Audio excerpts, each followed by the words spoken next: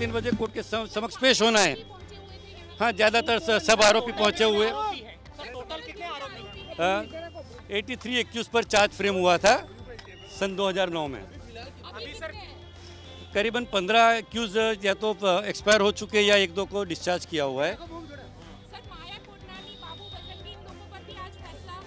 सभी आप एक्यूज है, जो भी एक्यूज है, उनका फैसला होगा, मैडम।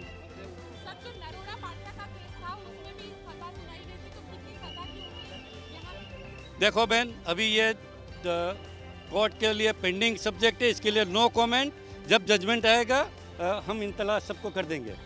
बिल्कुल देखिए नेहा, यहाँ पे अब फैसला जो है वो ढाई बजे के आसपास जो है वो आएगा क्योंकि जिस तरीके से सारे अक्यूज जो थे, वो सारे अक्यूज आज कोर्ट के अंदर मौजूद है और माया कोडनानी, बाबू बजरंगी और जितने भी दूसरे दंगों के आरोपी है, ये सारे आरोपी यहाँ पे पहुँचे हुए हैं। करीब 69 जितने जो आरोपी है, वो सारे यहाँ पे पहुँचे हैं। तो सुरक्षा के लिहाज से काफ़ी ज़्यादा पूरे कोर्ट में पुख्ता सुरक्षा इंतज़ाम किया गया है। यहाँ तक कि कोर्ट के अंदर किसी भी एडवोकेट को भी जो आई कार्ड है उसे चेक किए बिना नहीं जाने दिया जा रहा है।